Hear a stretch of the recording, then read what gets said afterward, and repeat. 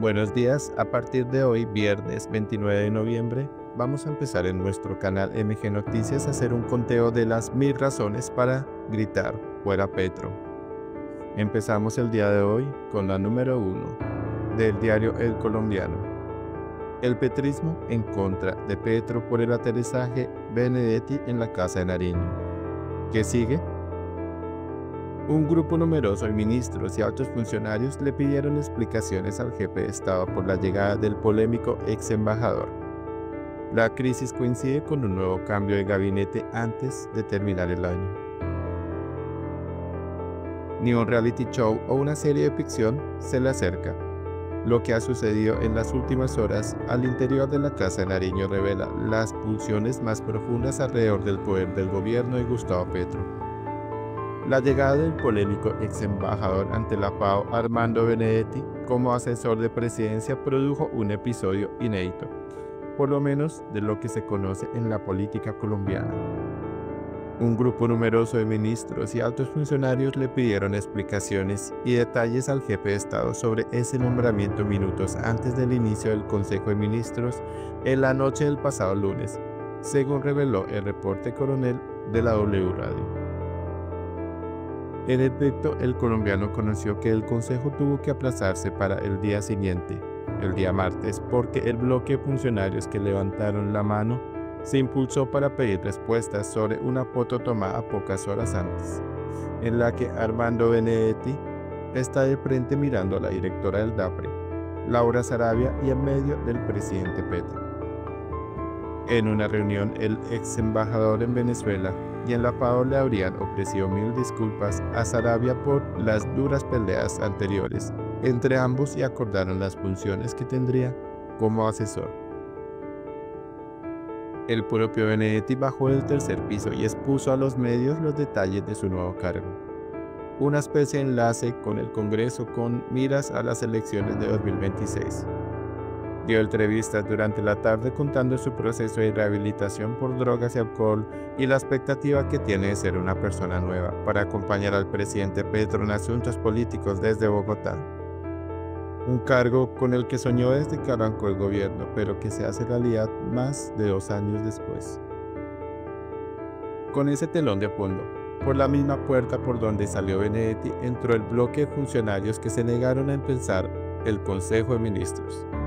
Se trata de Iván Velázquez, ministro de Defensa, Gloria Inés Ramírez, ministra de Trabajo, Andrés Camacho, ministro de Minas, Daniel Rojas, ministro de Educación, Juan David Correa, ministro de Cultura, Francia Márquez, vicepresidenta de la República, Alexander López, director nacional de Planeación, Gustavo Bolívar, director del Departamento de Prosperidad Social y Luz María Monera, consejera para las regiones.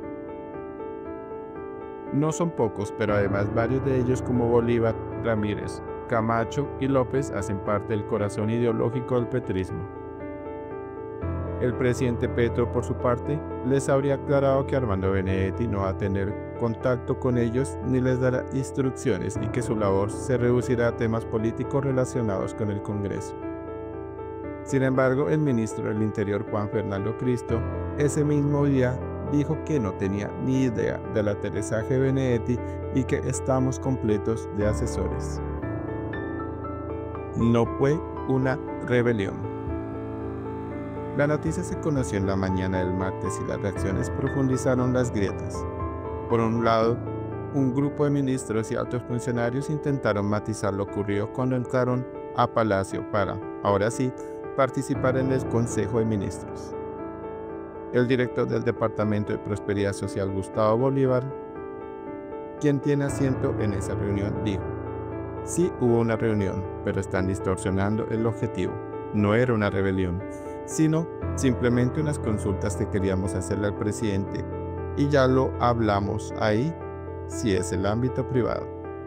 Estábamos preguntándole al presidente calidad de que viene Benedetti, nada más, y ya nos dio una respuesta que viene a ser como un enlace con el Congreso, y ya. Por su parte, el ministro de Salud Guillermo Alfonso Jaramillo expresó, yo siempre he sido rebelde, pero un rebelde que acata todas las órdenes del señor presidente. Yo soy petrista de sangre. ¿O usted cumple con lo que el presidente le exige? A usted, o usted se retira. Por otro lado, en el pacto histórico las críticas fueron duras.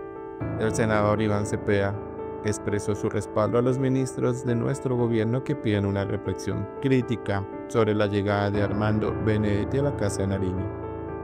Existe una serie de hechos que cuestionan severamente la compatibilidad de esa decisión con nuestro proyecto político. Y la senadora María José Pizarro, que se proyecta como candidata presidencial, se sumó al llamado de nuestras ministras y ministros que ayer plantearon una reflexión crítica sobre el fortalecimiento de personas cuyas posturas y acciones han sido incompatibles con nuestros principios. Como mujer no justificaré a quienes nos violentan.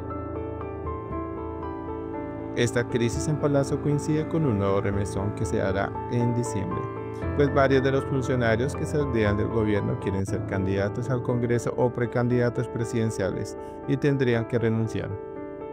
Entre los nombres que han trascendido están los ministros Luis Gilberto Murillo, Andrés Camacho, Susana Mohamed, Guillermo Alfonso Jaramillo y Juan Fernando Cristo.